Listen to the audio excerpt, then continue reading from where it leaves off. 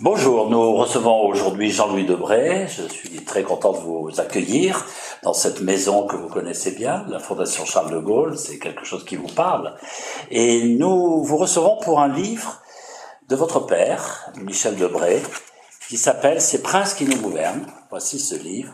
C'est un livre qui euh, date de 1957, c'est-à-dire avant le retour au pouvoir du général de Gaulle, et c'est une réédition. Alors, qu'est-ce que c'est que ce livre? C'est un livre euh, que mon, mon, père tenait particulièrement. Euh, il y a eu plusieurs éditeurs avant d'être euh, retenu par Plomb. L'éditeur du Général. Du Général.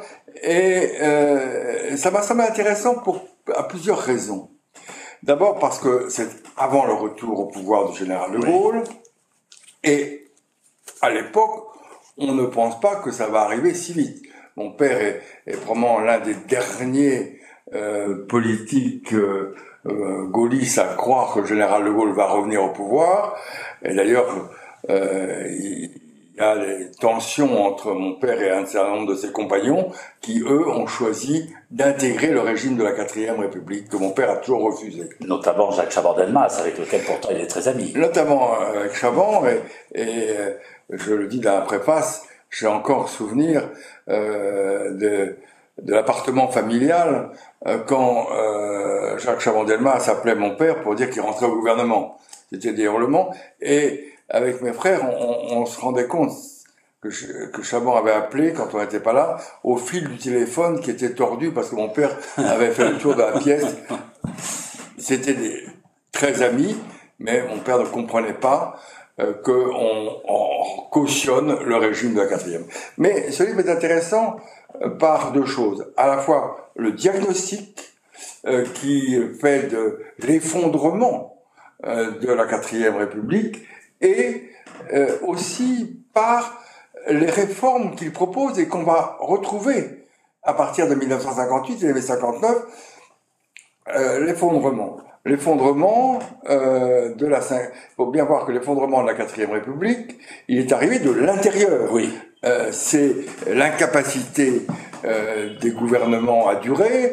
On a euh, euh, une durée moyenne des gouvernements de six mois, onze gouvernements en, en six mois, en, en 11 ans, euh, sans compter les périodes où le gouvernement est pressenti mais n'est pas en fonction, et, et donc euh, l'impossibilité euh, de diriger la nation, de diriger l'État, le gouvernement n'existe pas. En plus, ce sont les mêmes qui se succèdent. Euh, bon. Deuxièmement, l'incapacité à, à voter euh, des lois euh, sérieuses et la multiplication législative, une logorée législative, puisque déjà la loi est devenue un moyen de communication politique.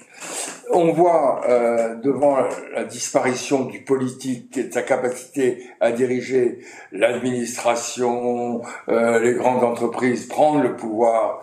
Et l'administration est, est elle, elle reste quand les, quand les gouvernements changent tout le temps. On, a beaucoup dit que pendant toute cette période, euh, la politique économique était faite par Bercy Bien sûr. et les services de Bercy. Rue de Rivoli à l'époque. De Rivoli, oui. À l'époque, c'était rue de Rivoli, vous avez raison.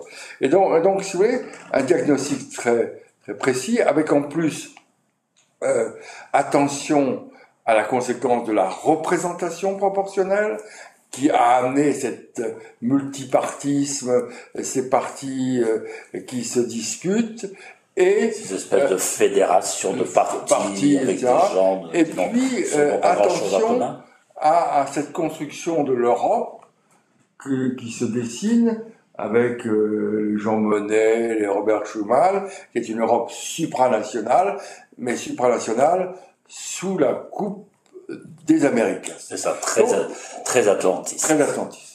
Donc on, on, a là, et on a aussi euh, le sentiment que euh, la France ne fait pas attention euh, à ces pays de la Méditerranée qui, qui, qui sont pour la France quelque chose de très important. Son puisque, empire.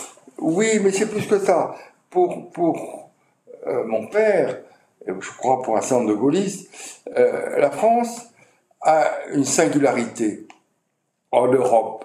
C'est un pays d'Europe, mais qui a aussi euh, toute une euh, façade méditerranéenne. Et en Europe, il fait la France fait le lien entre l'Europe du Nord et la Méditerranée. D'autant plus, on remarque que euh, euh, ils pensent à ce moment-là tous que la Méditerranée va devenir euh, une zone prioritaire pour les Américains. Donc voilà un constat, à la fois les institutions qui marchent pas, une classe politique qui n'est pas à la hauteur, euh, des, des, princes qui nous gouvernent et qui ne pensent qu'une chose, c'est à rester au pouvoir. Et là-dessus, il faut réformer les institutions. Et donc, on va retrouver dans la seconde partie euh, les principales réformes euh, institutionnelles qui vont apparaître. Et c'est une des raisons pour lesquelles, euh, lorsque le général de Gaulle revient au pouvoir, revient au pouvoir et qu'il confie à mon père la rédaction de la Constitution, tout ça va se faire très vite. C'est pas de l'improvisation. Oui, il y avait déjà beaucoup réfléchi. il, y avait, il, avait, beaucoup réfléchi dans, dans deux livres. Euh, un, la mort de l'État républicain au lendemain de la guerre, et ces princes qui nous gouvernent. Comment resterait l'autorité de l'État? Mais euh, au-delà des grandes réformes institutionnelles, on voit dans ce livre euh, la nécessité d'une réforme de la justice qui va apparaître dans les ordonnances de 1959 avec la euh, suppression des justices de paix, avec pour assurer l'indépendance, puisque dans le livre il parle beaucoup de l'indépendance des magistrats, la, distinction qui va être essentielle en 1958 dans l'ordonnance sur la justice 59, pardon, l'ordonnance sur la justice, la distinction entre grade et l'emploi. Mais on voit aussi euh, toutes les prémices de la politique agricole qui va être menée. Il y, y, attache beaucoup d'importance dans ce livre. Il en parle très souvent. Oui, parce que euh, c'est euh, fait partie de l'identité française. Et puis, et puis, euh, reprenons euh, une phrase qu'il aime beaucoup, est une citation de Renan. Et, il parle euh, du sentiment national et du rassemblement des Français autour de la nation en distinguant bien, il le fait, euh, le sentiment national du nationalisme. Donc voilà, c'est un livre qui est intéressant, qui explique euh, 1959, qui explique les réformes, qui explique euh, euh, oui ce qui va passer. Et pour moi, c'est un livre qui a une autre, un autre intérêt, mais ça c'est intérêt familial, qui montre euh, l'influence de mon père sur le général de Gaulle au niveau des idées institutionnelles. Et d'ailleurs, c'est tellement vrai que lorsqu'on reprend l'élaboration de la Constitution de 58, il y a euh, en réalité deux grandes conversations entre mon père et le général de Gaulle, seul, tête à tête, et j'ai retrouvé ça dans les archives, où là, il se fixe les grandes idées, euh, le, président de la, le président de la République arbitre, avec la possibilité, euh, par référence que De Gaulle faisait à ses prédécesseurs qui n'avaient pas la possibilité, de débloquer des blocages institutionnels. Alors c'est le retour au référendum, c'est la dissolution. Et euh, la deuxième chose, euh, le fait que euh, ce soit le président de la République qui nomme le Premier ministre. Voilà. Le reste, il n'y a pas d'autres conversations avec euh, le général de Gaulle d'ensemble de mon père en tête à tête. Et donc on voit bien l'influence. Euh, le général pour les institutions dit voilà, je veux un président de la République arbitre de l'intérêt national et qui a les pouvoirs de déblocage euh, du blocage institutionnel, ce que n'avait pas Coty, ce que n'avait pas euh, les présidents euh, précédents. Euh, et je veux qu'il puisse consulter la nation avec une nouveauté dans l'histoire constitutionnelle française, un pouvoir, c'est l'article 19 de la Constitution, où le président de la République exerce des pouvoirs sans contre-seing ministériel de sa propre initiative. Donc voilà, ça explique ce livre à la fois sur les idées et euh, sur l'état d'esprit les gaullistes en 1959. Alors il évoque aussi justement l'élection du président de la République. Il est euh, contre une élection par simplement le, Parlement réuni en congrès. Il veut un, collège plus large et il évoque quand même aussi la possibilité du suffrage direct, mais il n'est pas tellement pour à ce moment Non, alors si vous voulez, euh, dans la deuxième conversation, dans, 62. dans les traces que j'ai retrouvées euh, des documents de mon père, euh, en 1958, quand il parle général, euh, il y a eu, pour l'élection du président de la République au suffrage universel, il y a une idée qui s'impose. Il faut sortir l'élection euh, du petit cercle des députés et sénateurs. Voilà. Et ils oublient, ils princes pas, qui nous, qui nous gouvernent. Ces princes qui nous gouvernent. Ils n'oublient pas euh, que René Coty, le dernier président de la quatrième, a été élu après 13 tours de scrutin, et il a été élu après 13 tours la veille de Noël, parce que les députés et sénateurs voulaient repartir chez eux. Euh, D'ailleurs, j'ai retrouvé dans les archives les cartes postales que mon père nous envoyait de Versailles, parce que chaque jour il y avait un timbre différent ou un, un tampon différent. Et collection en soi. 13 tours, c'est dire que son autorité elle n'est pas grande. C'est déjà un président faible qui s'installe à l'Élysée. Oui, et il faut pas oublier que sur la troisième, euh, on avait préféré euh, des Chanel à Clémenceau. Bien sûr. Bon. Euh, donc là, ils sont d'accord tous les deux sur ce n'est le collège électoral n'est plus simplement les députés et sénateurs. Alors, il y a une conversation que j'ai retrouvée où il se pose la question de l'élection au suffrage universel. Euh, le général n'est pas contre, tout en considérant que personnellement, lui, il n'y a pas besoin. Euh, mon père est plus réservé, parce que mon père est plus parlementariste que président. parce que rappelons quand même qu'à l'époque où il écrit ce livre, il est sénateur d'Indre-et-Loire. Il est sénateur d'Indre-et-Loire. Donc il a une vie parlementaire derrière lui. Oui, tout à fait. Euh, D'ailleurs, euh, je fais une parenthèse. Le premier, euh, il s'était présenté une première fois aux législatives comme Chavon, et sur les conseils du général, ils étaient au Parti radical. Oui. Euh, donc, Personne n'est parfait. À l'époque, c'était.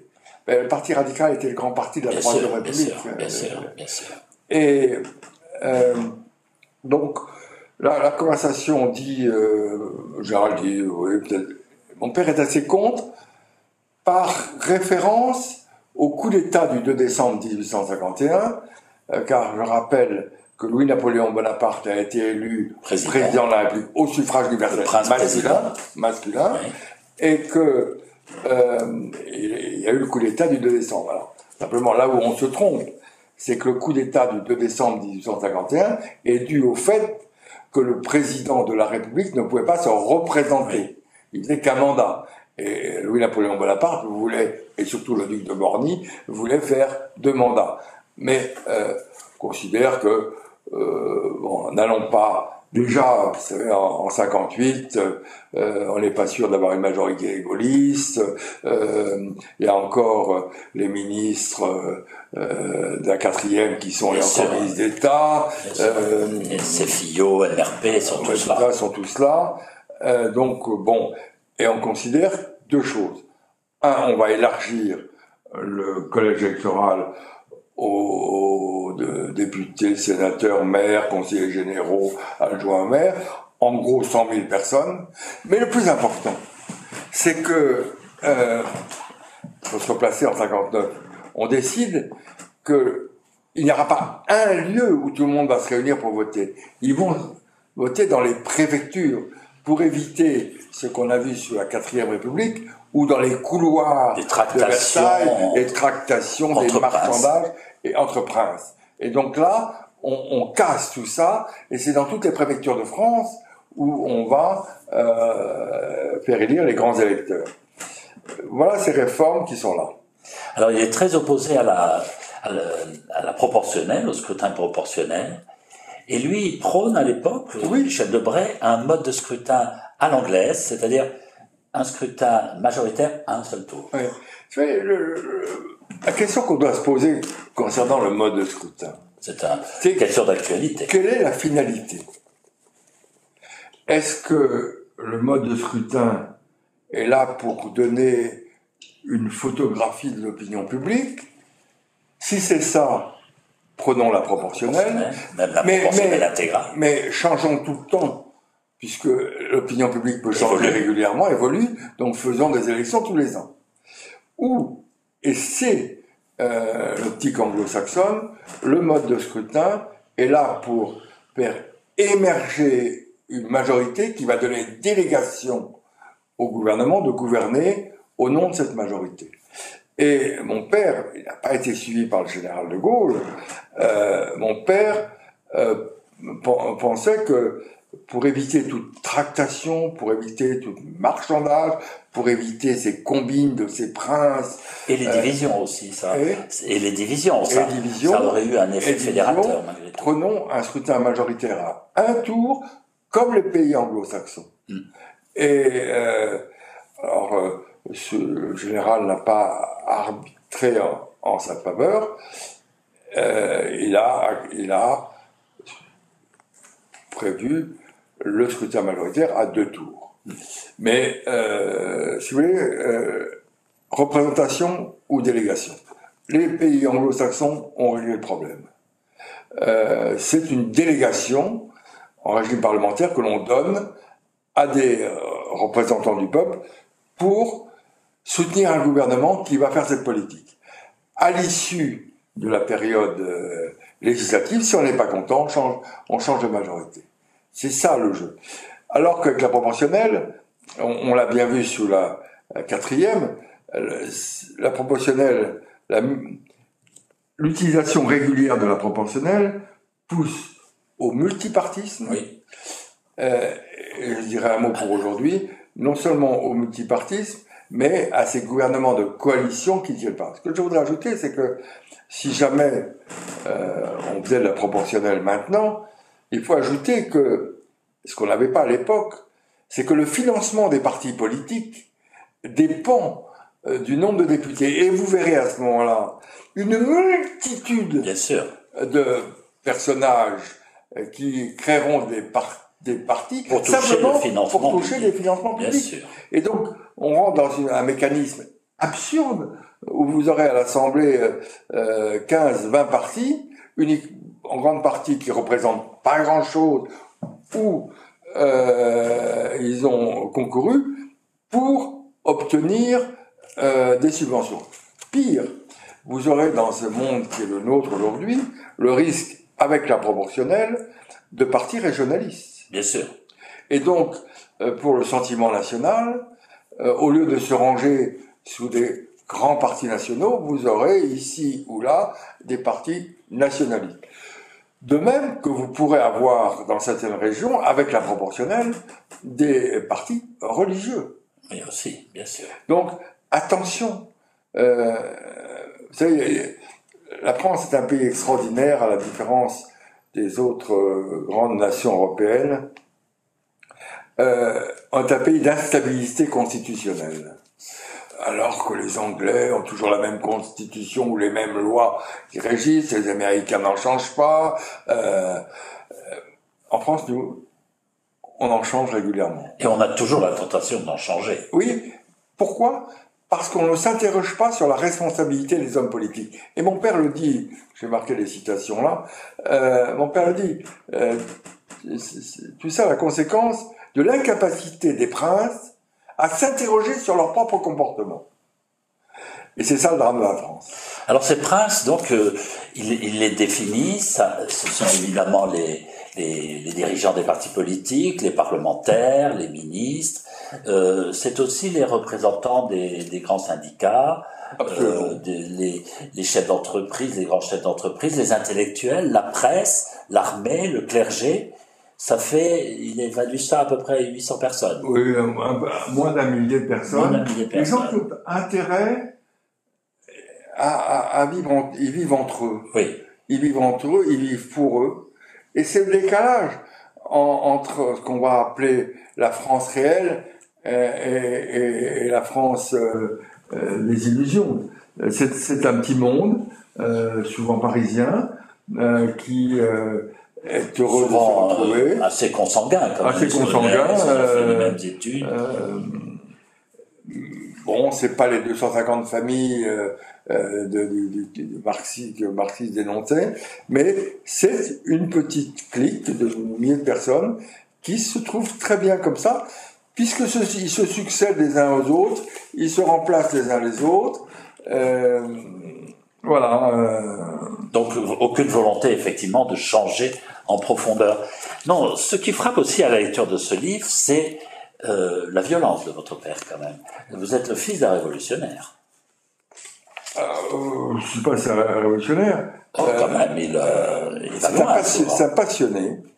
C'est un passionné euh, qui a été euh, élevé dans, dans, dans l'amour de la patrie, euh, qui euh, euh, se faisait une certaine idée de la France, comme le général de Gaulle, qui a rallié le général de Gaulle euh, pour la République, pour défendre la République. Il n'est pas allé à Londres, ça fait partie de la résistance intérieure, euh, qui a euh, le sentiment que euh, euh, toutes ces générations de la quatrième, tous ces personnages qui sont là, sont en train de tuer et le sentiment national et euh, euh, l'avenir de la France. Il partage avec De Gaulle une certaine idée de la France. Alors, il est passionné, mais en plus, c'est un, intellectuel un intellectuel. Il, il a, il avait, euh, il, je- je- il avait beaucoup d'admiration, beaucoup de, de, de, de respect, d'admiration pour Paul-Louis Courrier, Oui. qui était un pamphlétaire euh, de, de grande qualité, qui était un Tourangeau, qui habitait Vérès, près de, près de Tours, et qui avait pour euh, mon père deux vertus, trois. D'abord, sa plume était directe et agressive, mais surtout qu'il était, euh, il était républicain et national. Oui. Et ça, c'était pour mon père très important. Euh, la France ne peut pas se contenter de médiocrité, elle doit être une nation, une nation forte, et dans cette nation forte, il n'y a qu'un régime qui s'impose, c'est la République. Alors il évoque aussi justement cette, euh, cette période transitoire euh, au cours de laquelle il faudrait euh, commencer les grandes réformes, enfin les mener à bien, et ensuite on pourrait adopter un régime différent. C'est un peu ce qui s'est passé en 58 d'une certaine manière. C'est- c'est un- C'est cette période où le général de Gaulle s'installe à Matignon, euh, légifère par ordonnance et, et- et procède à, à des réformes très importantes et très très très nombreuses. Alors, on n'a jamais autant réformé. Voilà. Jamais autant réformé. Mais mon père est convaincu, conversation que j'avais avec lui, que dans la formation d'un gouvernement, quand il y a un nouveau gouvernement, euh, ce qu'on a appelé plus tard l'état de grâce ne dure pas. Oui. Et donc, euh, il faut aller très vite. Très vite pour réformer et euh, en profondeur. Et ça va être d'abord euh, la réforme institutionnelle, Oui. Va être très importante. Ça va être la réforme des lois agricoles de 1959-1960, qui vont profondément euh, réformer euh, l'agriculture. Et on se souvient de toutes les manifestations hostiles, parce qu'il faut euh, lutter contre euh, qu'un- dix ans de, de- conservatisme. C'est profonde réforme de la justice. Euh, c'est très très très fort. Et puis, euh, il faut pas oublier que lorsque le général de Gaulle prend le pouvoir en 1958, 59, euh, on se demande si la France peut adhérer à l'Union européenne, car ses finances sont euh, dramatiques, euh, elle est en pleine inflation, on fait marcher la planche à billets, et donc la France est au banc de tous les pays. Et mon père est convaincu, il le dit dans le journal, dans ce livre, euh, qu'il faut frapper vite, fort, pour réformer les structures administratives, les structures agricoles, les structures économiques, et ça va être, et les structures judiciaires, et ça va être la mise en place d'un élément important qui va être le plan. Oui. Euh, le, le- le plan, pas comme aujourd'hui, où on s'amuse avec le plan, on y nomme des copains politiques. Euh, vous voyez ce que je veux dire? Euh, Mais euh, il faut rien. Euh, là, le plan, c'est une ardente obligation, pour reprendre l'expression de général de Gaulle, et qui va ordonner tout le développement économique et politique de la France. Et puis, euh, ça va être aussi des grandes réformes culturelles, avec André Malraux, avec les maisons de la culture, parce qu'on considère aussi là qu'il y a euh, Et puis, et puis, ça va être très rapidement les ordonnances sur l'intéressement. Après, l'association Capital Travail euh, voulue par euh, Capitan, Ballon, Général de Gaulle. On va arriver très rapidement dans l'intéressement euh, et puis après euh, dans la participation. Qui est un thème qui revient très souvent dans ce livre. Qui revient très souvent. Voilà. Donc c'est en cela que ce livre est, est intéressant pour la suite. Oui. C'est très bien écrit aussi. On voit que euh, votre père est un grand lecteur. Alors, si vous c'est un grand lecteur et euh, j'ai un souvenir. On est ici à la Fondation de Gaulle, pas très loin de l'Assemblée nationale, et euh, j'ai un souvenir. Euh, à l'époque, euh, mon père venait souvent ici au, au, Conseil de la République, et je le voyais sur une table quand on, quand on venait avec mes frères, où il écrivait de sa main les propres discours. Aujourd'hui, le drame, le drame de tous ces discours qui n'ont plus aucun intérêt, c'est qu'ils ne sont plus écrits par le député. Non, bien sûr. Et là, c'est le, euh, c'est mon père qui écrit, je, j'ai encore euh, dans les archives nationales tous ces discours écrits de sa main. Et comme il lisait beaucoup, il était passionné par les mémoires de Saint-Simon, par l'histoire, euh, il, euh, il faisait très attention, naturellement aux idées, mais à la forme. Bien sûr. Ça c'est très agréable à lire à cause de ça. Puis c'est une vraie réflexion. Mais quand même, je le répète, on est, on est frappé par euh, le ton. C'est un réquisitoire. On, on l'appelait à l'époque. Euh, enfin, il avait ce, ce, courrier de la colère. Et Alors, on sent cette colère. Il, il, avait, il, avait, une colère parce que très profonde. Oui, il, va, il va créer le courrier de la colère, et qui va être un, un pamphlet. Un, euh, très dur contre ces princes qui nous gouvernent, contre la, quatrième République. Oui, dans, dans, dans, le tempérament de mon père, c'est un homme qui est passionné. C'était pas un tiède. Non, c'est un passionné. Euh, passionné, euh, avec l'amour d'une profondeur pour la France, le pays de ses ancêtres. Il faut pas oublier que j'appartiens à une petite famille qui est, euh, avant la Révolution, est euh, venu s'installer en France. Pour ne pas être allemand. Quoi? Pour ne pas être allemand. Pour ne pas être de Bavière, c'est plus. La, la, première, le premier. tout à l'heure que mon père était un révolutionnaire. Le premier révolutionnaire de la famille est un arrière, arrière, arrière grand-père. C'est une petite famille juive qui vient de Bavière. Et vous savez que euh, au temps de Napoléon Ier, pour intégrer les Juifs à la communauté nationale, on va leur demander de prendre un, nom. Avant, on les appelait par leur prénom. Et on, suggère, pour faire simple, de prendre un nom euh, de connotation chrétienne. Mais euh, Hanschel Moïse, l'ancêtre, euh, veut être fidèle à sa religion sans trahir la pays, le pays qu'il a adopté. Et il va euh, dans le petit village de Treinheim et son frère dans le petit village de Weichstoffen, près de Strasbourg. Ils vont déclarer à l'officier d'état civil, il s'appelait Després. Et Després, qui va devenir Debré, c'est la racine hébraïque de, du mot de Vachin, qui est de porter la parole. Ah, et donc le premier révolutionnaire de la famille, c'est ce personnage, Ansel Moïse, qui à euh, respecter ses engagements personnels tout en contournant la loi la loi de Napoléon. C'est très intéressant. Comment, s'est passée justement cette euh, réédition? Alors je, j'en profite pour montrer l'édition originale que voici donc dans la collection Tribune Livre, c'est Prince qui nous gouverne, chez Plomb, et la version actuelle, la même, avec une photo de votre père en, en bandeau. Comment, comment ça s'est décidé? Écoutez, euh, c'est Plomb qui a pris contact avec moi et qui m'a dit est-ce que qu'est-ce que ça vous inspire?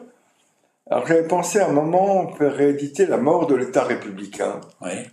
Euh, et puis ils m'ont dit non, c'est c'est Prince qui nous gouverne, c'est mieux. Alors je me suis mis à relire C'est Prince qui nous gouverne, je veux dire, j'avais pas lu depuis longtemps. Et euh, j'ai trouvé finalement qu'ils avaient raison, parce que euh, dans la mort de l'État républicain, c'est un constat. Euh, là, euh, ça parle.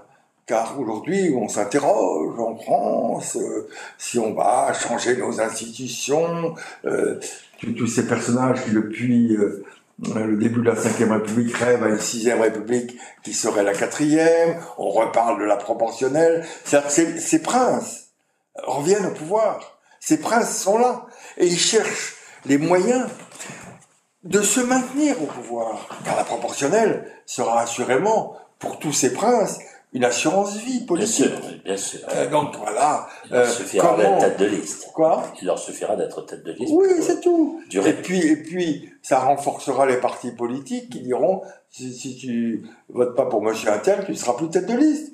Donc, ces princes aujourd'hui euh, ont peur du peuple, ont peur des réactions du peuple. Alors, comment est-ce qu'on peut faire?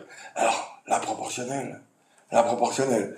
Et là, euh, montre bien toutes les conséquences. On a oublié les conséquences. De même que lorsque euh, certains euh, euh, veulent supprimer le Premier ministre, faire des, des réformes pour empêcher le président de la République d'avoir des pouvoirs avec sans contre-saint, c'est ces princes qui continuent à imaginer que c'était beau le royaume républicain lorsqu'ils avaient euh, tous les pouvoirs. Mm. Euh, tout ça repose sur une peur du peuple, sur une peur du suffrage universel et euh, sur une conception qui, en tout cas, n'est pas celle de mon père, de la République. Eh bien, nous recevions aujourd'hui Michel, euh, Jean-Louis Debray, pardon, qui signe la préface d'une réédition d'un livre de Michel Debray, Ces princes qui nous gouvernent. C'est un livre absolument passionnant. C'est chez Plomb. À l'époque, voici la première édition, donc, qui était en vente pour 600 francs. Voici les princes, ces princes qui nous gouvernent. C'est moins cher. hein. c'est moins cher, c'est beaucoup moins cher. Et vous êtes toujours au théâtre. Écoutez, je joue tous les soirs euh, euh, ces femmes qui ont rêvé la France. Un, un grand bonheur. On, on était parti pour un mois, on est à neuf mois. Alors là, on a changé de théâtre parce que euh, ils avaient pris des contrats et on est parti au théâtre de Passy. Et nous commençons en octobre une tournée dans 15 villes de France. Euh, vous savez, je vais vous dire une chose. J'avais une obsession dans ma vie c'est d'être un vieux. Alors quand je, je suis arrivé à la magistrature, au bout de 15, 20 ans de magistrature, je me suis dit, tu peux pas être un vieux juge, blasé, résigné, sceptique, n'ayant vécu 20 ans. Il faut changer de vie. changer de vie, ne sois pas un vieux juge. Donc j'ai quitté la magistrature et je suis rentré en politique. Et en politique, je me disais toujours, ne sois pas un vieux politique, blasé, résigné, sceptique, qui est là, qui n'a plus dans Qui cherche à y de rester. Et donc, j'ai quitté la politique. Et à mon âge, être un jeune comédien, c'est fantastique. Et le théâtre, c'est aussi une passion que, que vous partagez avec votre père, C'est une qui était un, un grand amateur de la biche. C'était le président des Amis de la Biche, c'était un drame pour nous, car il n'y avait pas à moins de 100 km de la maison, euh, si se jouait une pièce de la Biche, fallait aller. Et l'autre drame, c'est que mon père connaissait les, les pièces par cœur. Ah oui. Et euh, quand vous avez 14, 13, 15 ans, que, euh, à, l'entracte, il y avait les entractes à l'époque, on il allait voir les acteurs en disant « Là, vous avez oublié une réplique ». Et euh, pour l'enfant que vous étiez, c'était très... Mais C'est un moment gênant. euh, c'était quand même plus compliqué. En même temps, ça vous a fait découvrir des pièces extrêmement drôles et Oui, très drôle avec, euh, avec le de con- profondeur, quand même. Oui, mais mon père posait toujours courte. Quand on voulait faire euh, mettre mon père en. On disait du en bien rogne, Courteline. On disait finalement Courteline est plus drôle que la biche. Jean-Louis Debray, merci beaucoup. Et je rappelle le titre de ce livre de Michel Debré, Ces princes qui nous gouvernent, chez Plomb.